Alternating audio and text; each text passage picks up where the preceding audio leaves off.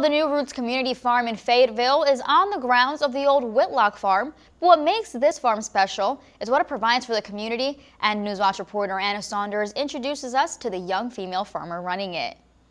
I'm just uh, following the things that I believe in and that uh, I'm passionate about and the work that I like to do, and so that's what has led me into this position. But I think it's important also to see uh, representation does matter, and it's important for young women to see themselves uh, in these roles, and so uh, maybe that's what I'm doing here. But Susanna Wheeler is not just here to be a role model. She's running an 84 acre Fayette County farm.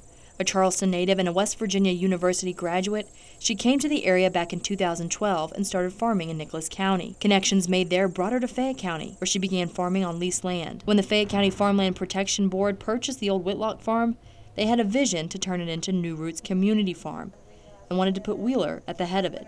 Community farm means that we will engage in some community gardening.